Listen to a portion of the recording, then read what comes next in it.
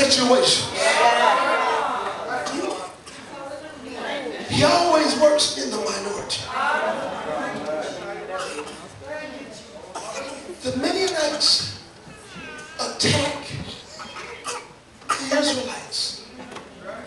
For you Bible scholars, you understand that it's during the reaping of their season. I'm talking to someone.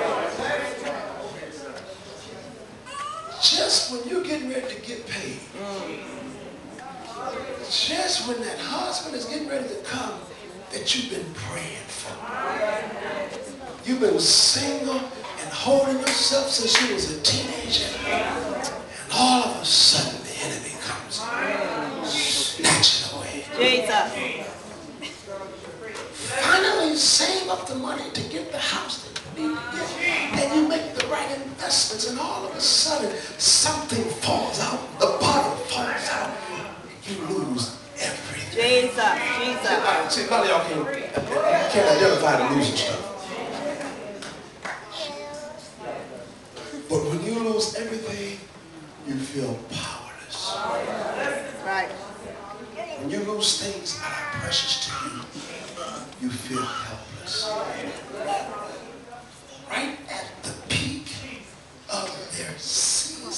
Bless him. Bless him.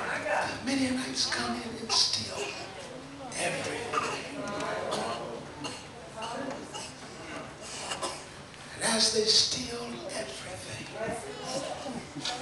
the Lord finds this chosen vessel. And he says, get in, I'm calling you out. Allow me to just speed up. There are 32,000 people with Gideon.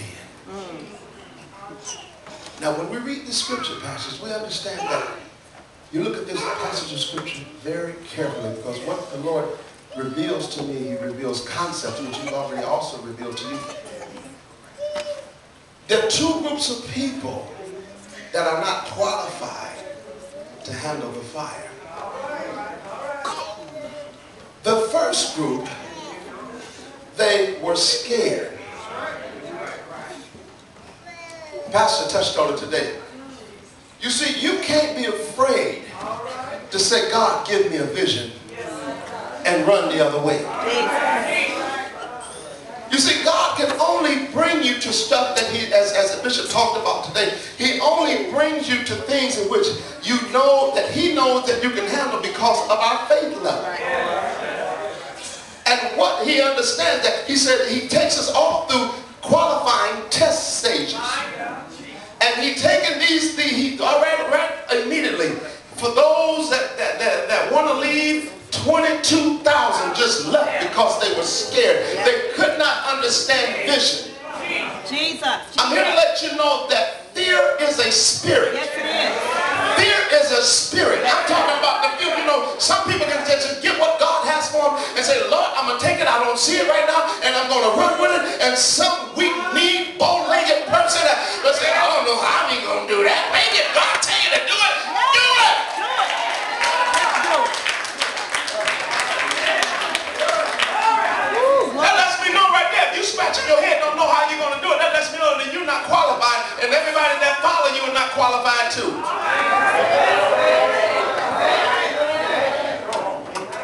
Start that car.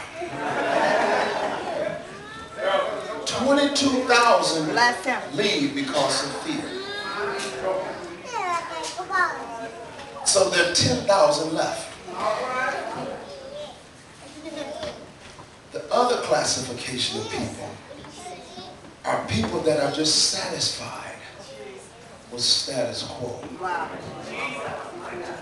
Because when you're satisfied with status quo, you're not watchful, you're not prayerful, and you're really satisfied the way that you did. I'm okay the way that I am.